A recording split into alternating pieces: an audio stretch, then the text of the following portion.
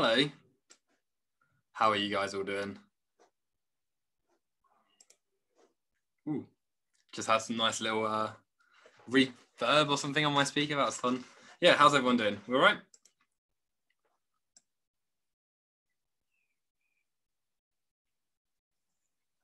Yes, no?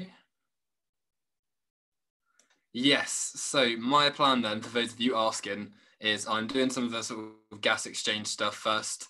Um, have I done hemoglobin? I don't think I've done hemoglobin yet. Yeah, I'm doing hemoglobin in the future. So I'll do a session on that in, I don't know, a few weeks or so. Hey, Jake. Hey, Talia. Hey, Dominic. Hey, Namrata. Ah, what have you guys been up to this afternoon? I've been absolutely, I don't know, loving it. I've been sat listening to music. It's been good. Hello. Yeah, I'm good. I'm very good. I was just listening to Bruce Springsteen and the Beatles because although I may look like I'm in my 20s, I'm actually 70. You did English lit and now you're bored. Doing bio homework, triple maths. Sounds like you guys are having a great time.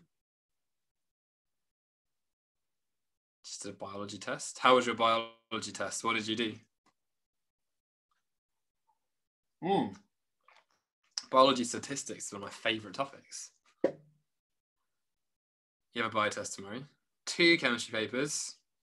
United one knows how to live life. No lessons today apart from this. The Beatles are amazing. I agree. The Beatles are amazing. The best band ever. Can anyone name a better band than the Beatles? I'd be surprised. And Animal Transport. Nice, nice, nice, nice. Right, I'm going to share my screen with you so you don't have to put up with my face being massive for a while. Um, for those of you who were posting um, Instagram things um, to get a free account, someone had one of the creepiest Instagram things I think I've ever seen in my life, uh, where they basically said that at the moment uh, their only date is me, and that is all they are doing is SnapRevise. It made me laugh a lot, but creepiest thing I think I've ever seen. Ah, studying genetic variation. That sounds good. Have any of you done anything apart from just studying? Has anyone done anything remotely interesting recently?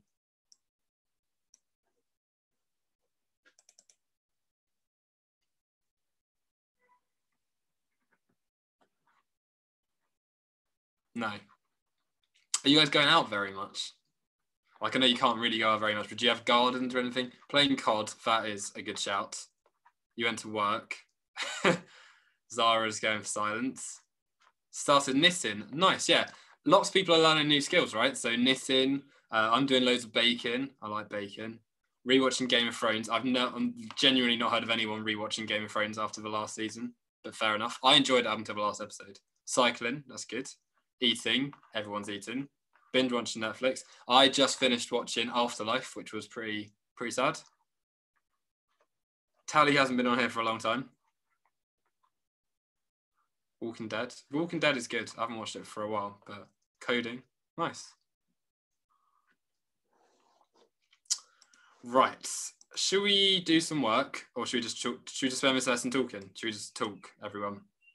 Oh, you guys can see that, I think. Right. I need to turn off my notification from my people who are currently messaging me. Hang on.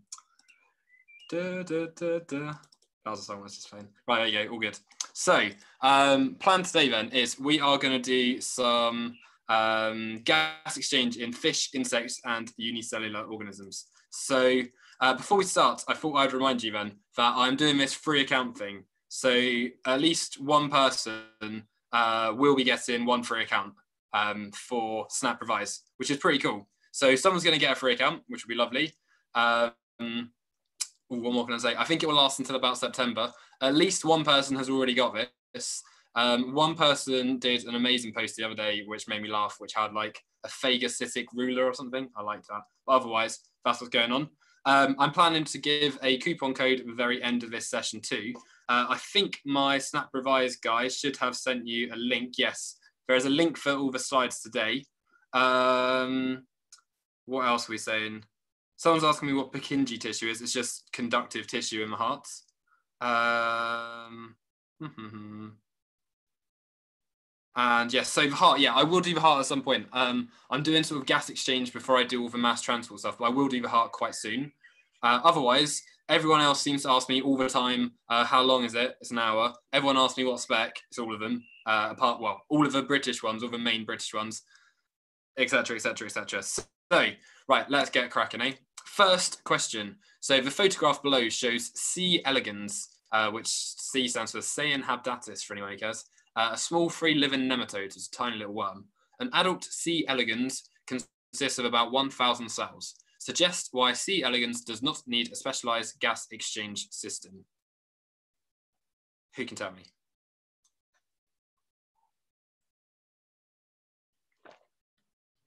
I'll honestly take all my questions from such a random source of places. There's a good chance it is LSL, yeah, I don't know. Okay, so two marks. So how do we know how it does? Uh, why does it not need gas exchange?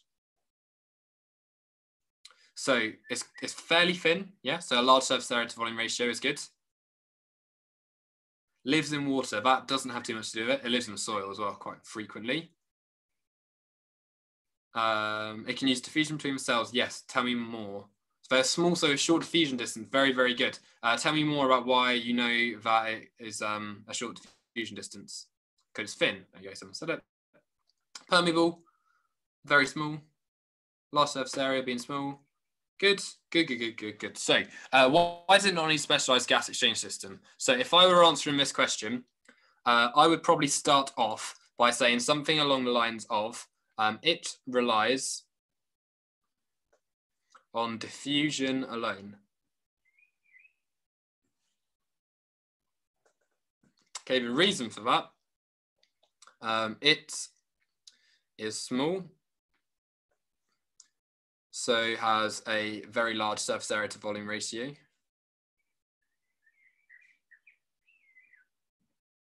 Okay, if I was in an exam, I'd actually write it out properly, but I'm being lazy. Um, we can also say as well that it is very thin. So it said it's made of a thousand cells. So the whole thing is a thousand cells. So it's not going to be very thick. It's going to be only a few cells thick. Um, so it is very thin. Therefore, um, the diffusion distance is short.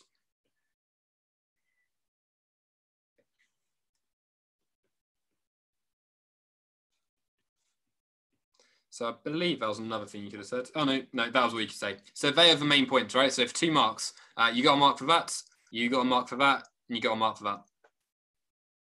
So diffusion is efficient enough to maintain its metabolic reaction. Indeed, yeah. So essentially we would use diffusion but the reason we can't is because we're too big to get oxygen to all of our cells so oxygen well, any any gas is going to diffuse quite slowly if it's got a very long way to go so for us um, oxygen is going to find it too difficult to get to like the center of our body to the cells there so we need a special system if you are uh, thin enough you don't need to worry about that Okay, so cells are within acceptable distance from external environment for diffusion, yes. Easy for oxygen to access for cells, yes. Um, when do these live classes start? Three o'clock every time. Cool. Yeah, still a fast question. Yeah, you barely missed anything, the person who just got here. Uh, okay, next question. So which of the following statements, nice and easy, A to D, correctly explains the feature of an efficient gas exchange surface? So layers are thin for a short diffusion distance good blood supply so the system reaches equilibrium quickly, increased surface area to reduce surface area to volume ratio, ventilation takes place um, to reduce concentration gra gradient of dissolved gases. Ooh, I don't think any, never in my life have I seen you all agree. God, this is going to be so embarrassing if it's wrong. Fortunately, you are right. So yes, um, which of the following statements uh, correctly explains a feature of efficient gas exchange? Um, there is a short diffusion distance. So layers will always, always, always be thin to make sure that diffusion can actually happen. So when you think about the site of exchange in humans, uh, it's for tissue fluid, isn't it? So the distance between the capillary and the cells is never very far away. So the diffusion distance is always short, right? So a good blood supply, uh, that prevents equilibrium. We don't want equilibrium to happen. Nice, Jacob. I like it. Um, there is an increased surface area to reduce surface area. That makes no sense. Uh, ventilation takes place to reduce concentration. No, it's going to increase the concentration gradient. Um, yes. Onions and ogres. Very nice. And they get little hairs, you know? If you leave an onion out for long enough, it'll grow little hairs. Mm. Right, bony fish absorb dissolved oxygen from the water using gills. Water is passed through the buccal cavity and over the gill lamellae. The oxygen saturation of the blood and water changes as the water passes over the gills. Which of the statements, A to D, correctly describes the way that oxygen is transferred into the blood at the gills? So blood and water flow in a concurrent system with a constant concentration gradient between them. Blood and water flow in a countercurrent system with a constant concentration gradient between them. Blood and water flow in a concurrent system with a greater concentration gradient between them at the start. Blood and water flow in a, counter, uh, in a countercurrent system with a greater concentration gradient between them uh, at the start.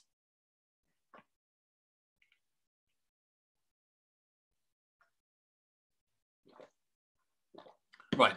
Firstly, well done spotting that concurrent has nothing to do with this. So it's either B or D. It's got to be one of them. So is there a constant concentration gradient or does it start with a really big concentration gradient that starts to then get smaller? What do you reckon?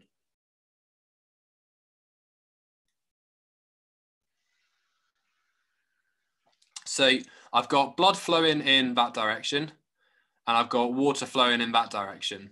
So the first place where my oxygen is going to be going to over here. So in terms of leaving the water, in fact, let's, let's label this up.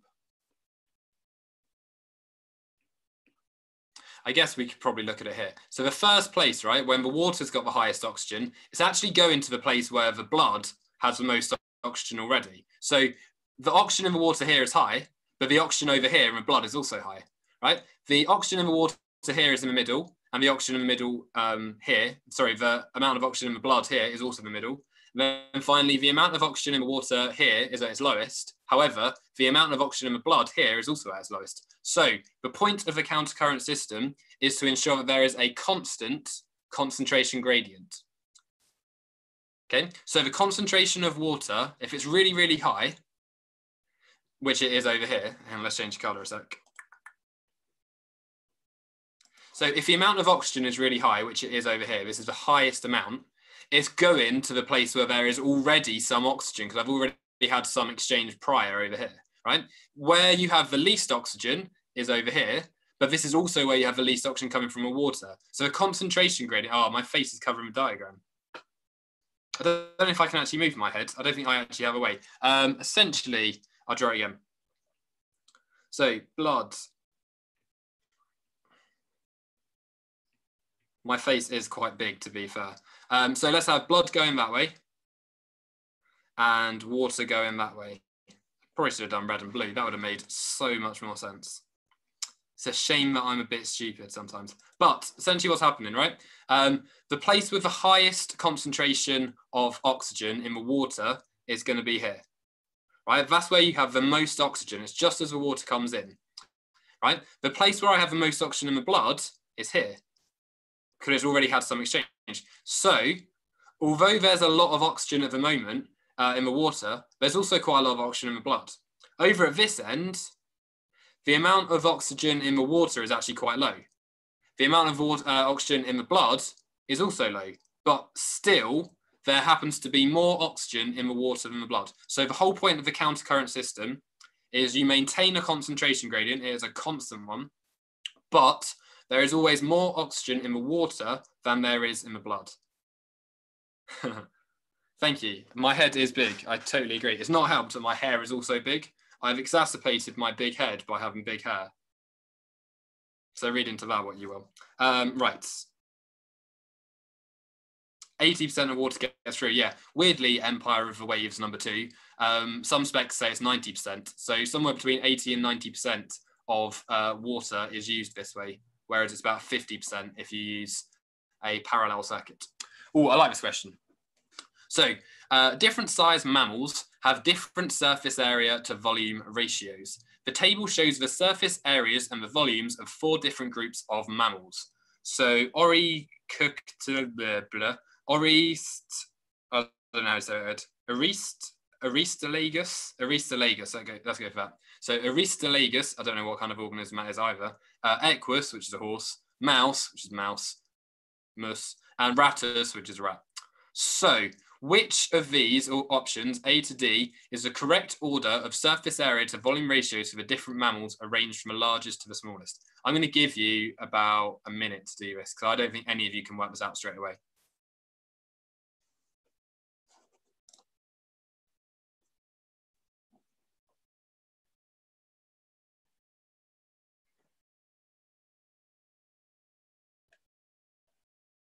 How do you even work out stuff? How do you make them all comparable first?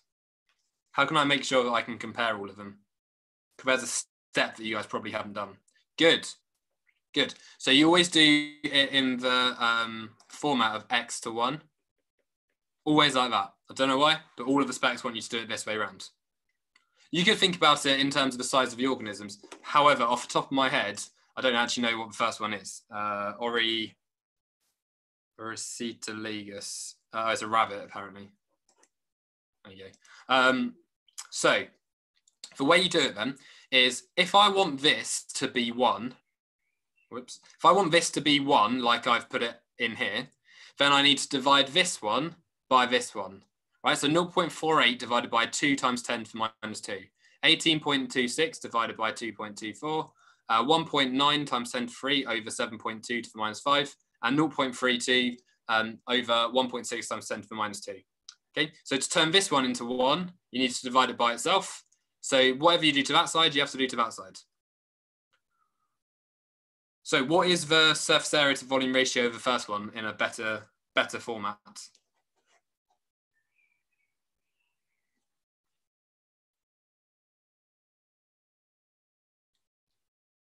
Can someone tell me what the actual surface area to volume ratio is here in this format?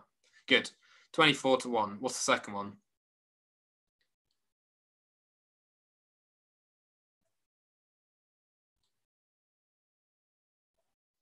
Yep, 8.14 to 1. Next one.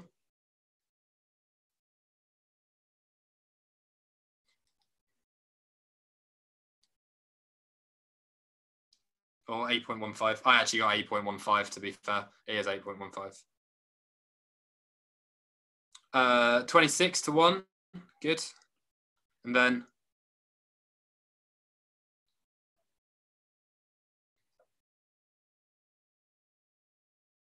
Twenty to one.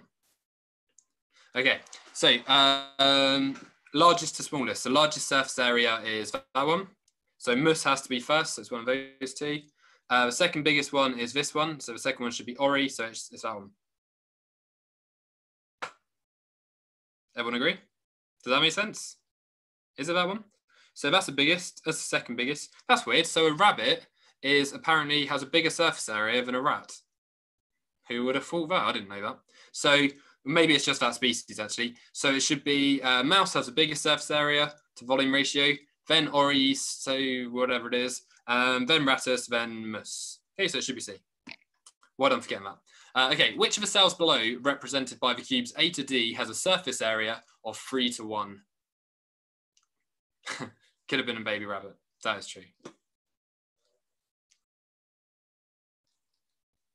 Yeah, I know. It does make you think how big is a rat. Although no means how small is no. Yeah, oh, I don't know. How big is a rat?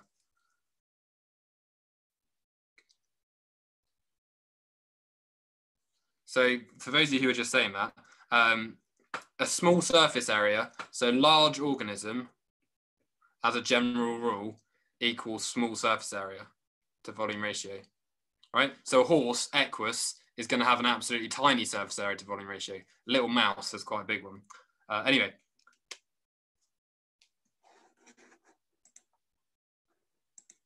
So to work it out, guys, as I'm sure you all know, um, to do a surface area, you have to find out the area. So one times one, right? One times one times by the number of uh, squares that there are. So if that is one and there happen to be six squares, it's one times one times six. The volume is one times one times one, which equals one. So that one's six to one. Uh, this one, so two times two times six is going to be 12, 24. Yep. And the volume is going to be 2 times 2 times 2, which is 8. Is that the same as 3 to 1? Yes, it is. And here's B. How does a ratio work? So all you're doing is you're working out what your surface area is. Then you do a colon and then you do your volume. So for this one, uh, I'm doing 6 times 6 because this square here, the area is 6 times 6, which is 36. Oh, I just realized that's to be a weird one. Um, and then you times it by 6, which I'm not going to do in my head in case I get wrong. 216. So that has a surface area of 216. The volume is going to be 6 times 6 times 6, which is also 216. So it's going to be 1 to 1, right? There's a lot of sixes there, yeah. So that's a weird one. Very strange. Uh, that's how you do your ratio. Um, to change, if you change one of these numbers, so say I want to put it in the format x to 1, um, whatever I divide this by to get to 1, so in this case, divide by 216, you also do the same to that side. Okay, so it basically, uh, you know, in maths, if you if you have um, I don't know, a times b equals c, right? If I divide this side by b, it means I've got to divide that side by b. So it means you can get rid of your b's, right? Uh, I would see these ratios as similar. So if I had um, 1 uh, to 10, if I divide this one on the right by 2, then I've got to divide this one on the left by 2 as well. So that's the same as 0.5 uh, to 5. So just see, whoops, just see this little colon as like an equal sign almost. Yeah, exactly. So bony fish and insects have different gas exchange systems. Both can be observed uh, by dissection. You should all know how to do this. You all should have done this. Um, well, most of you should have done this dissection at some point, unless you just missed it. Uh, describe how you'd carry out a dissection to display the maximum detail of either gas exchange system. So how do you dissect fish? How do you dissect an insect? You had it as a demonstration. Ugh, that sucks. I remember my first year teaching, um, I told all my class that when you dissect, hold the knife, not in front of your face, obviously, and cut away from you because you're less likely to slice into your fingers. And I had a kid um, who was a really nice kid called Mark. I really would love for Mark to be watching this. That would make me so happy. And basically, he cut towards his hands, and he had gloves on, and he cut like that bit of his finger. And he just came up to me and was like, Oh, I think I cut myself. And I was like, Oh, show me. Come, I'm sure you haven't. And then his glove was just filling up with uh, blood, and it was really gross. Good times. Good, good, good times. Uh, anyway, so it's not a Daphnia practical, no. So cut along the gallbladder. No, you don't need to cut along the gallbladder. So use forceps or scissors. That's true. Place the gills in water. That is a very good point at the end, which most people don't know because it makes them all spread out. So I like that. Uh, cut two gills. What are the things that hold, um, what are those bits, you know, the stiff bits on the side of their neck? An exoskeleton is fine if you're talking about insects. So if we're talking about insects, uh, you would say, whoops. Remove exoskeleton. Skeleton for one mark, second mark to reveal spiracles. Good, operculum. Well done for knowing that, guys. So not everyone needs to know that word, actually. Um, OCR definitely does. So remove operculum. And then you can get a second mark to display gill arches.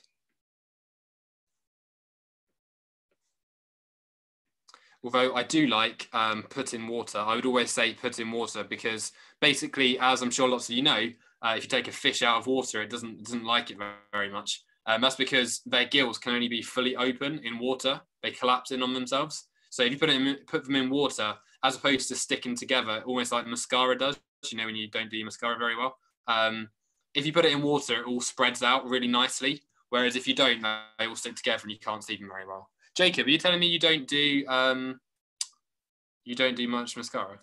So Kang, AQA is a fish practical required. Uh, not necessarily, but you have to have done a practical, like a dissection with AQA. Do you need to know the word operculum for AQA? No, you don't. Is it that you don't have to mention scalpels or tweezers? Describe who carry out dissection. It's not actually a mark scheme, but yeah, why not? Use scissors. or use a scalpel. So use scissors to remove operculum, remove exoskeleton. Edexcel, um, SNAB. I don't think so. I don't think you need to know word of operculum, although I'm not 100% certain. So Khadija, I would check. Does this mean this question wouldn't? Yeah, so this isn't an AQA question. I don't know where this question's from. Quite possibly OCR. Edexcel B do. There you go. Right, next. Um, figure three shows part of a diagram of the gas exchange system of an insect. Uh, name structure labeled A. I think OCR do uh, perculums.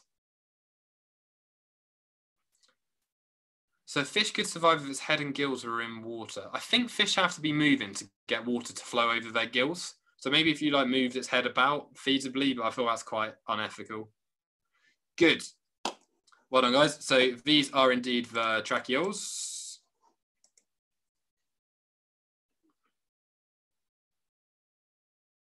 So that's a spiracle. That is a little hole which can open and close, almost like a stomata. Uh, trachea. So they have a, a tracheal system, which is this big tube. And then the tracheoles are these little guys coming down here. And then this is some cells of the muscle or something.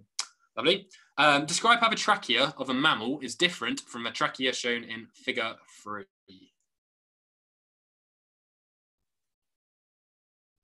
They basically just open up their mouth and they open up their operculum to allow water to move through. That is not a human, no. We don't have tracheoles. Rings of chitin rather than rings of cartilage, very good. So insects have chitin, not pronounced in any other way, despite how you almost certainly want to pronounce it. So uh, insects have chitin, um, mammals have cartilage. What else? It is C-shaped, I'll give you that.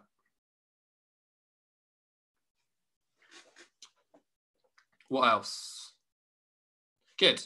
Uh, human trachea. So let's have like insects and then mammals. Uh, so very small,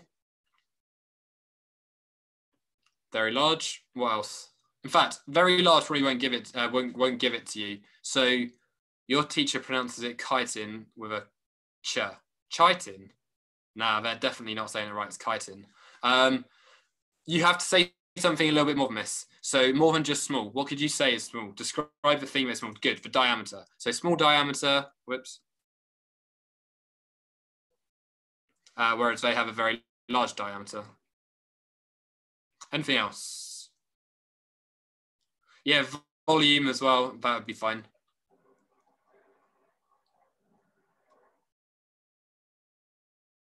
I guess we've done pretty much all we need to say. So a few other things uh, in my mark scheme. Yep. So they have more than one. Um, they have more than sort of one trachea. We have like we just have the one. So they've got this this sort of more complex tracheal system where I'll have one here, they'll have one attached to another spiracle down here, they'll have another one down here. They have more than one. Um, we just have the one. We could say that our ones have smooth muscle and goblet cells and ciliated epithelial cells in them. They do not have that. They do not have the whole mucus system thing. Um, you can say that our one is longer, their one is shorter. Narrow lumen, yeah, I think I'd give that. Narrow lumens here. Um, that'd be good. I'm happy with any of those. Oh, one thing to mention though, uh, in questions like this, make sure you say that, or make sure you word it like this. So mammals, um, trachea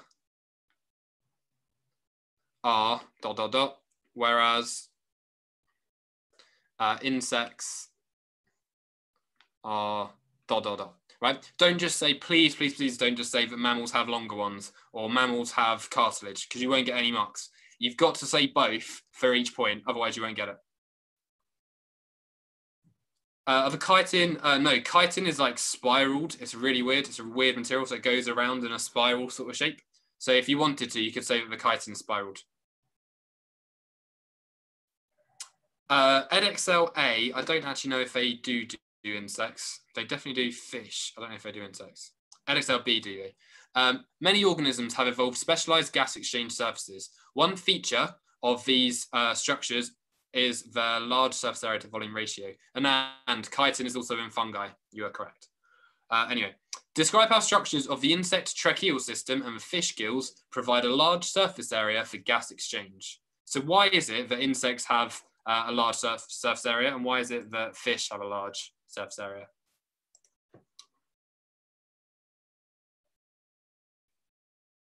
Nope, that does not affect surface area.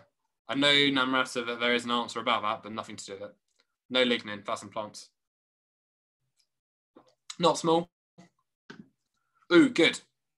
Um, Ariadne, if I pronounce your name right. You are totally right. So, uh, fish have a very large surface area to volume ratio.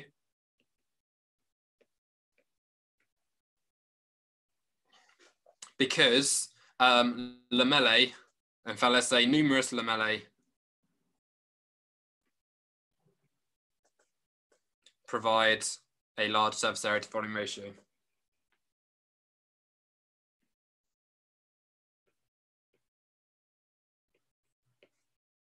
So describe how the structures of the insect. Yeah, so numerous lamellae are present. Uh, what do insects have?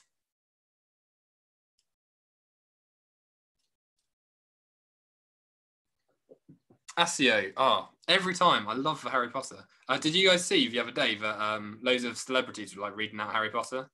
There's like a website you can go to. I think Daniel Radcliffe and David Beckham run it, which is weird. Um, but branched, that's the key word, branched or numerous branched tracheoles. Okay, essentially, having loads of branches of these tracheoles is going to mean that the surface area is very, very, very large. It's almost like um, it's almost like the internal structure of our lungs, right? Uh, towards the bottom, there's loads of branches that go to the alveoli. Insects have a similar thing where there's so many branches um, that the tracheoles are actually quite, um, they have a really big surface area to volume ratio.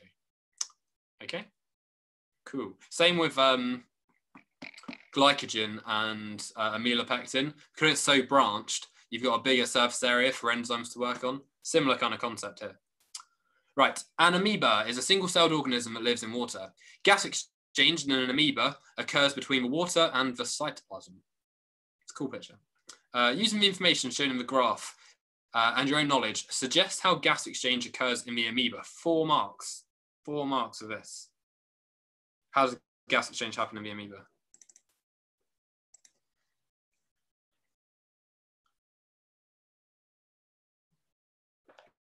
Empire of Waves, absolutely not. Good. So diffusion.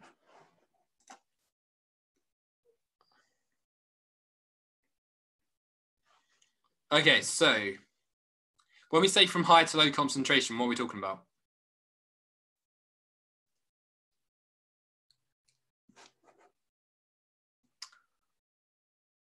Simple diffusion is also true.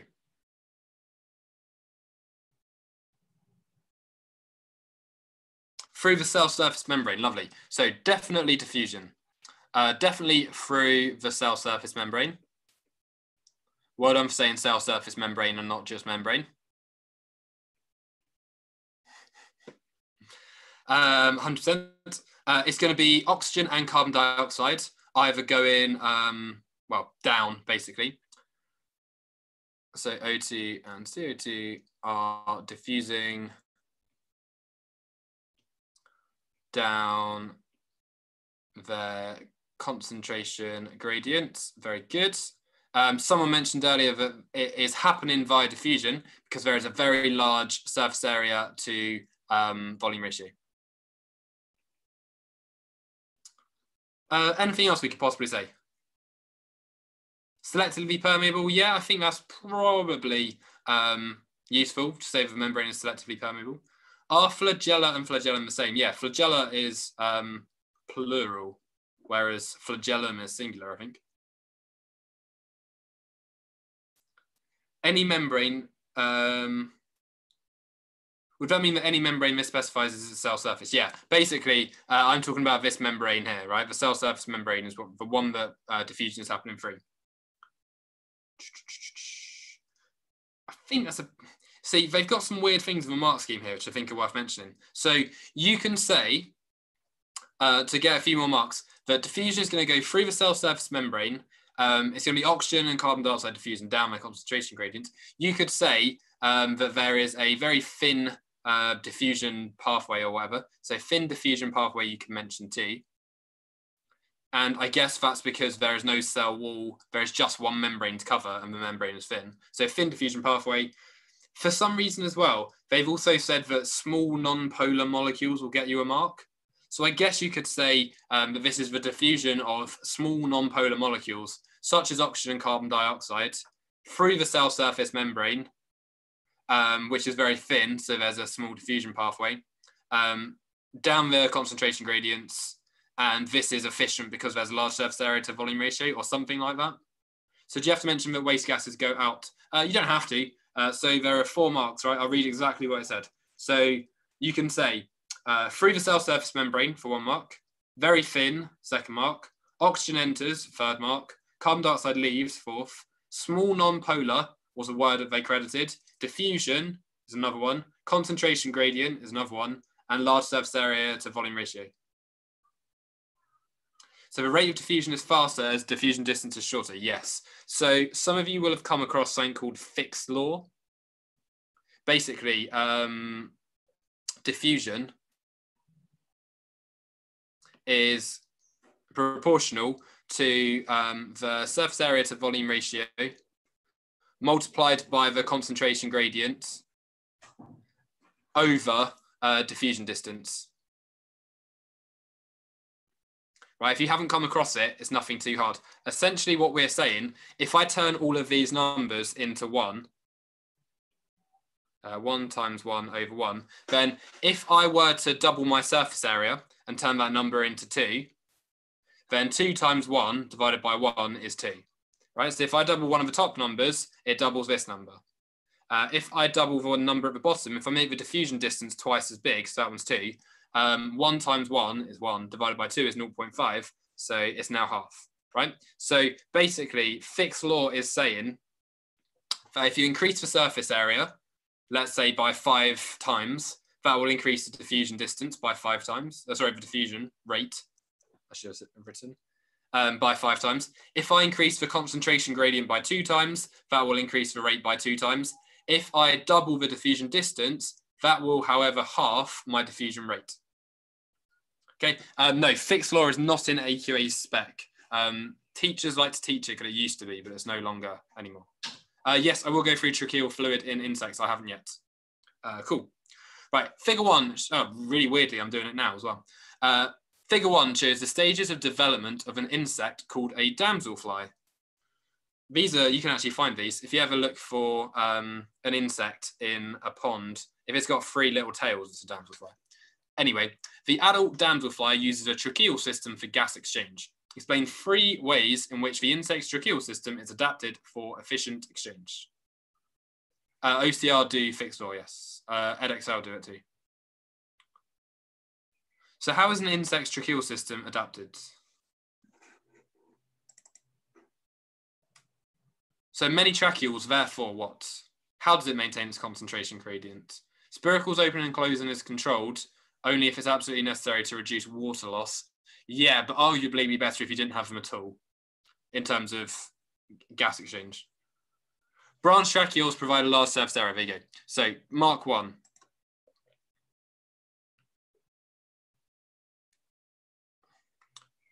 Branch tracheoles provide a large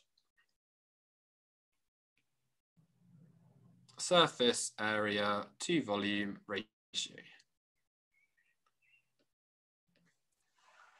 Good blood supply. Hmm. Do they give that? Doesn't look like it. No, I can't give that. Sorry. What else?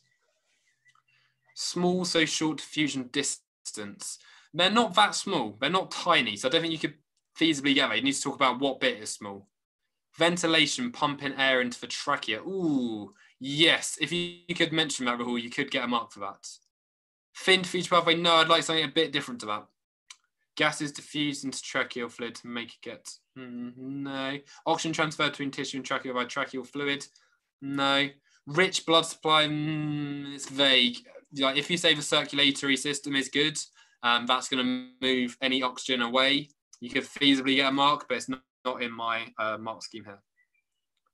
Oh yeah, they do have blood, but blood isn't actually how they transport. Um, yeah, that's a very good point. Blood isn't how they transport oxygen anyway, so it doesn't matter. Blood is just used glucose. Tracheoles go straight to the cells. Ooh, ooh. Maybe if you could tell me a bit more about that. Tracheoles are thin surface. So okay, I will give this.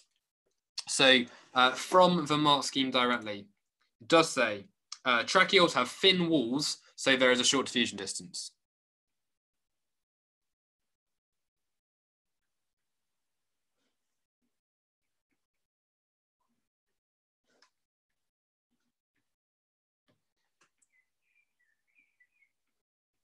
Okay, so what is this stuff about the fluid in the tracheoles? Does anyone know this?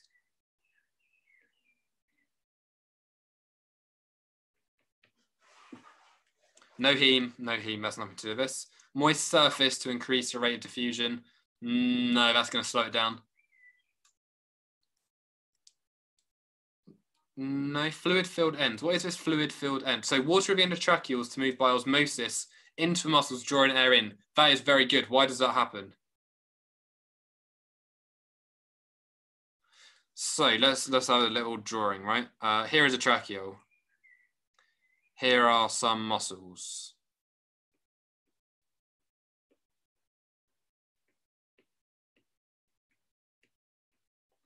Okay, so let's say that this insect is now going to start. Oh, lovely. Someone mentioned lactate too. So same person, well done. Um, if this insect starts to do a ridiculous amount of exercise, so it starts to run like crazy for a few minutes, right? Essentially, what happens is in these muscles, you produce lactate. Okay, what lactate does, because it's soluble, is it's going to dissolve and it's going to cause the water potential of my muscles to decrease. Okay, now something that some of you do know and some of you don't know, is that there is fluid that sort of fills up the end of your tracheoles, uh, your tracheoles. So this fluid um, will sit there fairly happily, but as soon as there's a lower water potential outside, it begins to move out. Okay, so the fluid at the end moves out. When the fluid moves out, it basically produces suction inside of this tube in the same way that the xylem does. It'll basically produce suction in this tube, which is going to draw any air in.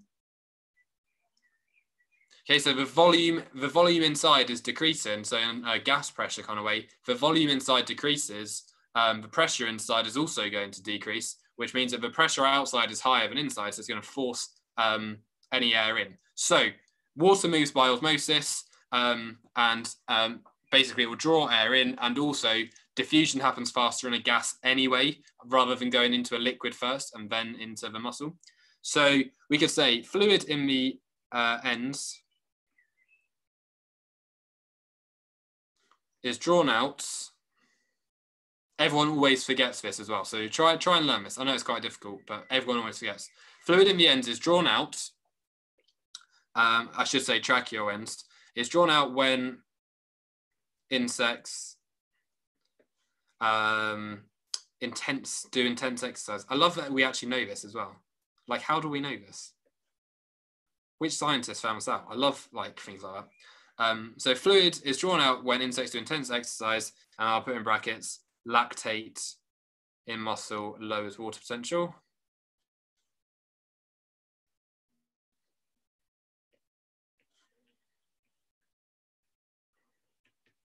Then we can say air is drawn in, um, which is due to pressure. So air is drawn in and exchanges quicker in a gaseous phase.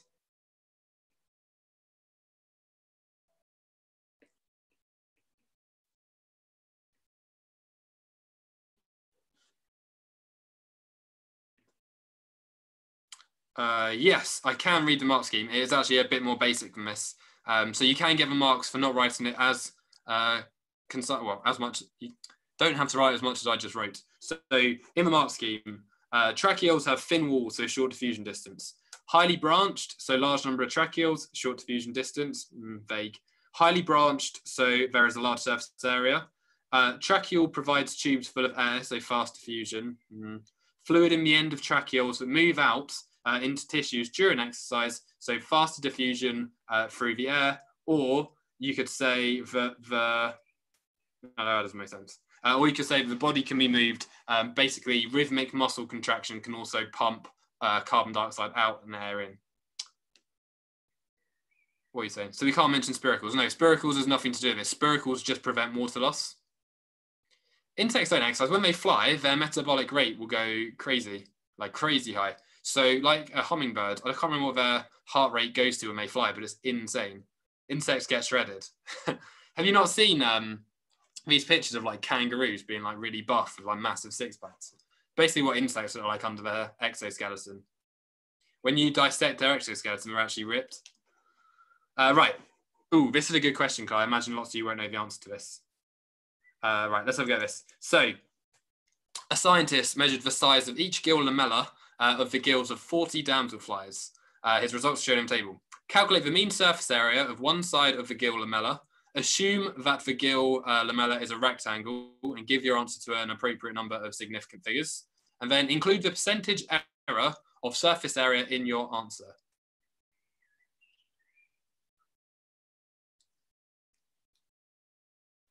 Uh, wing movement, no, you'd want to say um, exercise intensity as opposed to wing movement. Tracheal systems have a membrane? It's not a cell. It's made of cells. So yeah, there will be lots of membranes. Uh, you couldn't really get ventilation in here too well, Amelia, if I'm totally honest.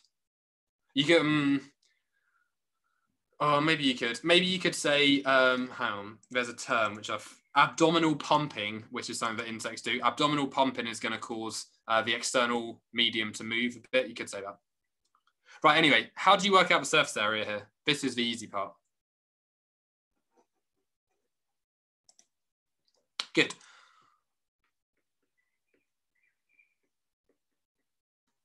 Okay, so we're assuming it's a rectangle. Don't know why. Okay, in terms of the number of significant figures, what are we going to go for? I would go for probably three because that's what they've given us earlier. So let's go for 9.85. So the general rule is either copy the number of significant figures or do one fewer than what they've done. So 9.85 is fine, or 9.9 um, would be okay as well. Okay, how do we do this uncertainty bit?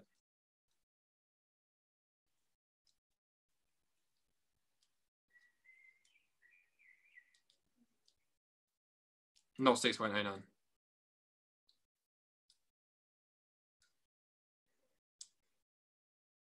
Nope. Nope.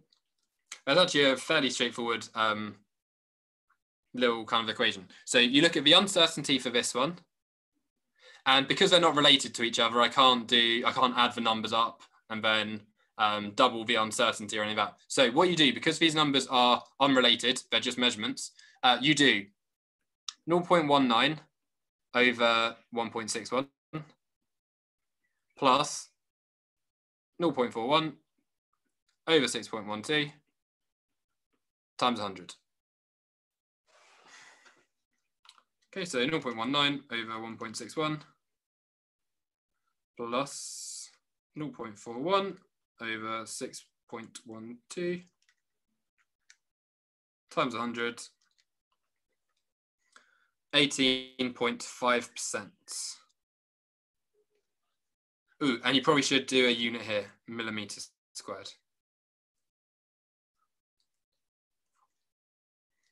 No, um, I'm not doing one side. Where did it say that? Assuming the rectangle, give your answer appropriate significant figures. Yeah, no, you're doing percentage error, uh, percentage error of the surface area of it. So I'm looking at the whole thing. I have used the surface area. I've used the length of one surface and I've used the length of the other surface because for each one, you're basically, um, for, e for each surface, I've had to measure. So I've got some uncertainty in each one. So that's why I did that.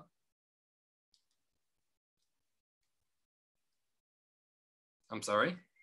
Scientists measure the size of each gill lamella of the gills 40 damselfly. Calculate the mean surface area of one side of the gill lamella. Oh, that is weird. Yeah, the answer says 9.85. In my mark scheme, it says credit 9.9.85 and 18.5. So maybe it's a weirdly worded question. One side of the gill, oh, what are we talking about? So they're looking at a gill lamella, which looks like kind of one of them, doesn't it? So you're just looking at this surface area, that's it. You're looking at one side of it because in reality, it's actually a 3D structure, isn't it?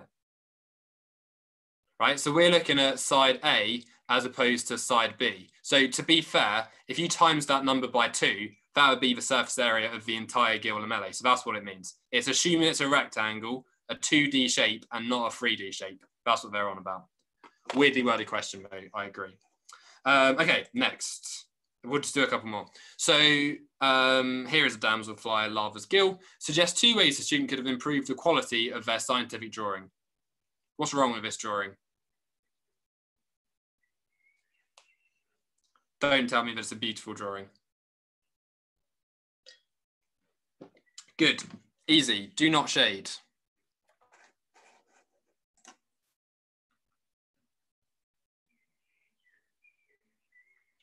Uh, good. Um, so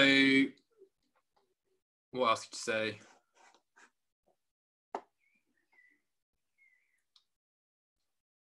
Ensure lines are continuous is the wording they used. So ensure continuous lines. So joined up, I think you'd get it for joined up. So continuous lines, um, good. Add a magnification, that'd get you a mark. Um, add further labels. They've only labeled the cuticle and the hair, whereas we know that this is a tracheole and we know that that's uh, the trachea. We know that um, that's the spiracle. We could label a lot more. Uh, and don't cross the label lines. So that they've crossed here, you shouldn't do that. You should have them separate. Things like that. That's fine. Uh, reject color in, reject using an electron microscope reject to use a sharp pencil. We don't know how sharp their pencil was, do we? So we can't say that. Yes. So explain two ways in which the structure of a fish gill is adapted for efficient exchange, just to show you that these questions come up all the time. How is it adapted? A um, fish gill? Be better at drawing. I like it. What about lamellae? I don't, I'm not too bothered about secondary or primary as one. What about lamellae? Many lamellae increase surface area to volume ratio. Do not forget volume.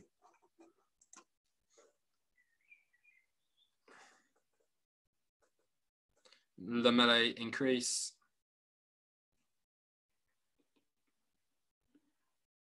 Good.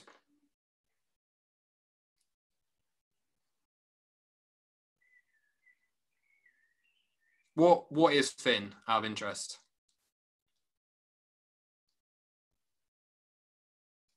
countercurrent. The fish gill. Hmm. I don't actually think they credit that. So I don't know why they wouldn't they. The structure. Can a countercurrent system be a structure? Because more talking about the flow. The structure is still the same. It's still a two blood vessel, one blood vessel and one water way or something. I don't think you'd get it for countercurrent. I think they're being horrible, but I don't think you'd get it. Mammy lamellae. So fin diffusion pathway, I just need to tell me what's fin.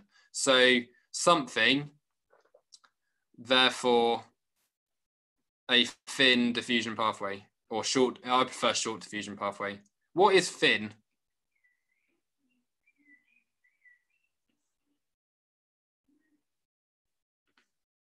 The gill lamellae are thin. Yeah, I'll give you that. Gill lamellae are pretty thin, right?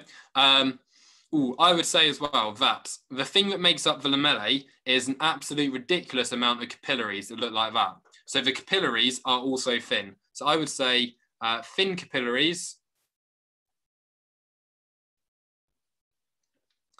and lamellae, um, therefore a short diffusion pathway, right? Yeah, the lamellae, even though it's a fish, they're still one cell thick, right? So in case you're not sure what a lamellae looks like, essentially you've got this long structure like this, and you've got uh, a blood vessel which uh, will, well, it will go basically this way. And then you've got like this branching nature of it as well, where the blood can sort of come up here, uh, it will move up there, move up there, move up there, move up there. And then I'm going to definitely mess up which lines to join up. Join up that one, join up that one. There you go. right? So the blood is going to uh, come in down at the bottom. If you bear with me. So blood's going to come in this way, then it's going to go through there, then it's going to go down. Going to go that way, then go down. Go that way and go down. Water, on the other hand, is going to go that way. Uh, okay, cool. Uh, final few, two more. So explain how the countercurrent mechanism in fish ensures that the maximum amount of oxygen passes into the blood. So can anyone describe this? Good blood supply. It might be. I don't necessarily think it would be, but it might be. There is a good blood supply, which allows a concentration gradient. So if you did say that, yeah, um, I reckon you could get away with that feasibly. Concentration gradient due to good blood supply. Although is that talking about the structure of the lamellae? It's more talking about the circulatory system, so maybe not. Right, water and blood move in opposite directions. This question comes up all the time, by the way. Water and blood move in opposite directions.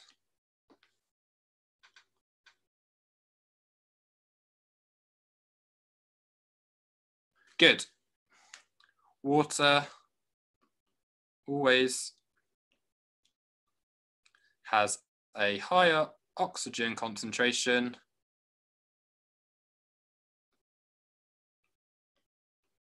Therefore, we can say the concentration gradient, and this is the bit which will get you the mark, is, and then learn this, maintained across the gill lamellae. Done. Or the entire gill arch. Yeah, I'd give it for gill arch as well. Or the entire gill, right? So concentration is maintained. It's that word there that I want. So concentration, um, let's say in fact gradient, is maintained across the gill lamellae slash gill slash arch. Right, final question. Abdominal pumping, love it, takes place during vigorous activity in insects. This causes regular squeezing of the tubes of the gas exchange system. Scientists investigated the effect of abdominal pumping on the pressure in tubes and the volume of carbon dioxide released by the insect. Here are his results. Describe and explain the results. This is two marks.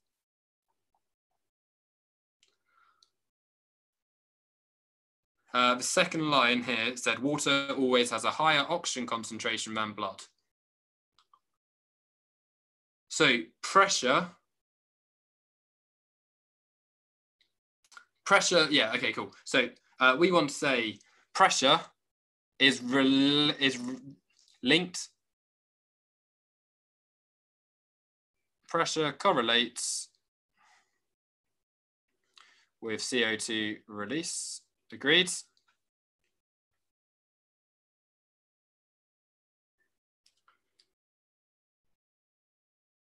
Pumping is doing what then? Pressure forces carbon dioxide out. Lovely.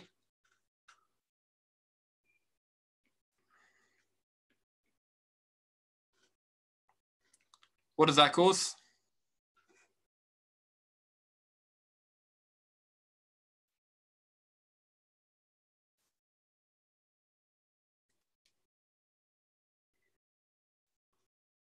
Doesn't necessarily cause oxygen to come in. It might draw some oxygen in. It's not expiration. If you've got loads of CO2 outside, and uh, so, fact, what are you doing? So you're you had a high concentration of CO2 inside. Hmm. Maybe that's not what I wanted to say actually. So abdominal, in fact, let's have a look. In fact, apparently that's what you need to say. Yeah, I was going to say something about it's going to cause a concentration gradient, but thinking about it, it just means that CO2 inside is going to be very low and carbon dioxide outside is going to be also quite low. So it's probably not making much of a concentration gradient. Basically, all this shows is that this insect um, is using pumping of its body to basically get carbon dioxide out. So the mark scheme says abdominal pumping is linked to carbon dioxide release. Said that. Abdominal pumping raises the pressure in the body. That's another mark you could have got. Yeah, fair enough. Uh, so I guess they've made the link between abdominal pumping and pressure. And then finally, air is pushed out of the body, dash air slash carbon dioxide moves down pressure gradient, and that's it. So all this scientist has really found out is that when the insect pumps, it causes carbon dioxide release. So yeah, it's just it's just forcing carbon dioxide out. Right. I haven't actually thought of anything yet, so bear with me. Hang on. Don't go anywhere. Stay where you are. Um, um, uh, oh, I've got one. So, have you ever wondered um, how a fish can basically um, do so well? So, it lives in an environment where there's so, so, so little oxygen. The amount of oxygen dissolved in water is so low, and yet it survives. And it doesn't just survive, it thrives. That fish doesn't survive, it thrives. Now, if you wanted to be like a fish and not just survive your A levels, but indeed thrive with your A levels, despite not having any teachers, well, SnapRevise is basically like a countercurrent system. So knowledge flows in one direction and money flows in the other direction.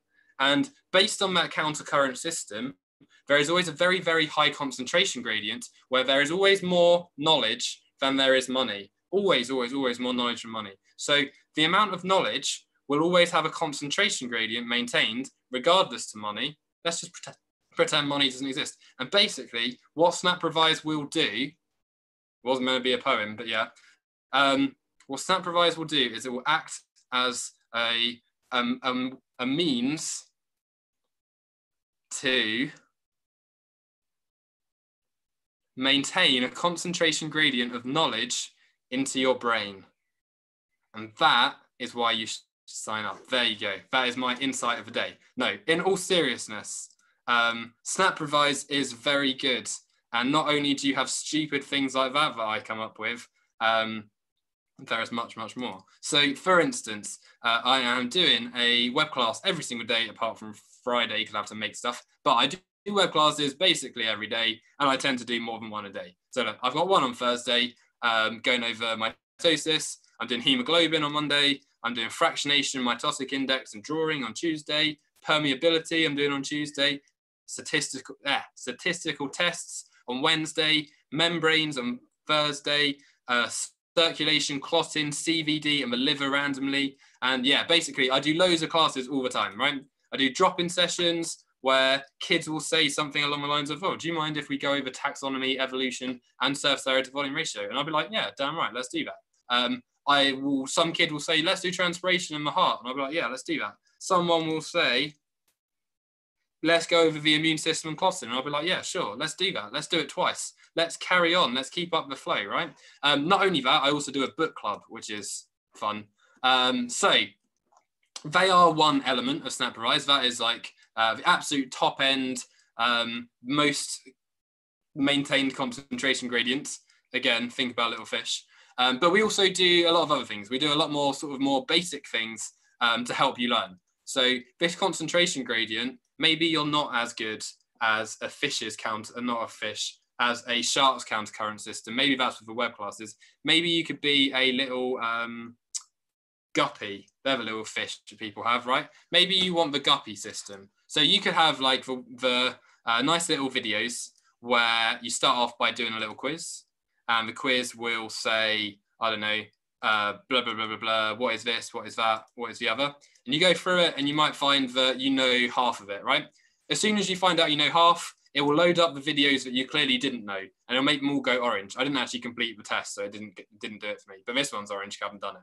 Right? You then have a nine minute video, a four minute video, a ten minute video, and another quiz right? So after you've learned all this stuff, um, you have another quiz, and hopefully you will have learned something. And um, basically, this guy will go through a quiz. Oh no, there you go. There is a quiz. Uh, you then get some exam questions where this bloke will. Where is he? There he is. He will go through some exam questions with you just to help you to feel a bit more confident. And let's say that you didn't understand a three domain system like this person didn't, and they've asked me a question and they've said that they can't find it in a textbook and then I've just told them, oh no, you definitely do need to know this, um, then maybe that could be something which would really help, right? After that, we have, well, this one actually doesn't, but we also have just basically endless exam questions. So classification is a bit of a weird one because apparently it doesn't, but I know that this one does. Um, there is an exam pack, right? So you can go through some exam questions to your heart's content. until you're happy that you know stuff and see the solution. Uh, after that, if you're still not sure, um, you can look at the revision guide, check that out, go through it, see what that's telling you, print it, tattoo it on your skin, uh, get your parents to test you. One of my best students I ever had, basically, uh, his parents got sick of him talking. So he used to teach inanimate objects like facts. So he would tell his radiator that lipids um, contain carbon, hydrogen, and oxygen. So you could do that. Um, if I haven't convinced you, which I understand I might not have done, then what I would recommend for you is not that, not that either. Maybe that one. Yeah, that'll do. Is basically, oh look, there I am. How weird. Basically, go on to SnapRevise his website. Okay, go on to SnapRevise's website and uh, oh, you can get a free account for a bit as well. But go onto our YouTube site even, and you should find that there are little bits that tell you when some things are happening. So if you go home, uh, there are some upcoming live streams, right? Like, why not go along to an equilibrium session? Even if you don't do chemistry, why not go along? Why not go over some proofs if you do maths? That's actually a bit of a stupid idea. If you want to know more about mammals and plants, right, set a reminder for my uh, session and then we'll go over that at the time. Okay. Otherwise, and I'll get to some of your questions in a second for any of you who have questions. In fact, let's keep that there for now. Let's put you back over there and let's put this back up again. Um, I've got my discount code and stuff to give you. So can anyone guess what it's going to be this week?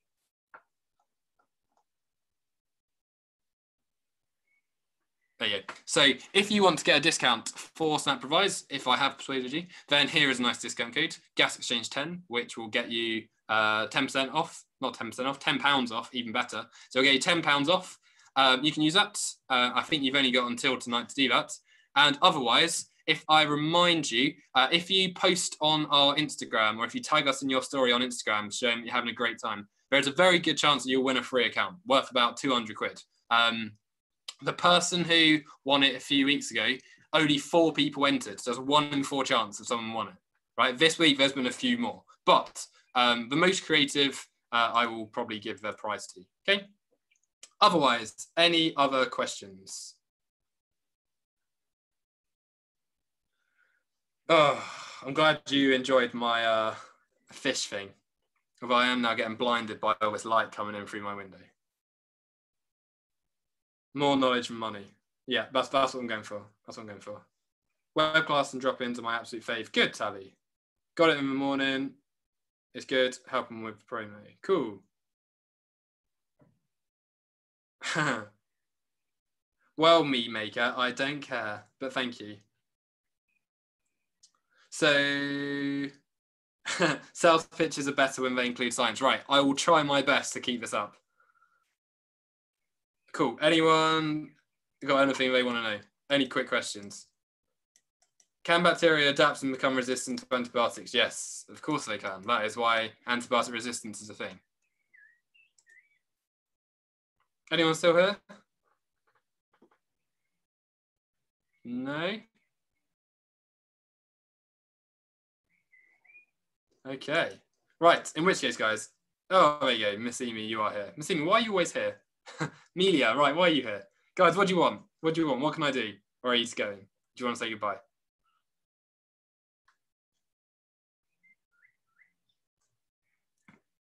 Oh, Sugar Beast Boy. Nice name. Right, guys, have a lovely afternoon, and I will catch you again at some point next week. Okay?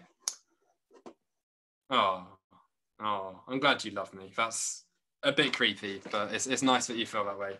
I feel like you guys should, I don't know, when, when lockdown ends, you should go and do something as opposed to sitting watching SnapRevise videos on YouTube. No, you should carry on doing that actually. I misspoke, but definitely do something as well. Right, anyway, see you later, guys. I'll catch you again another time.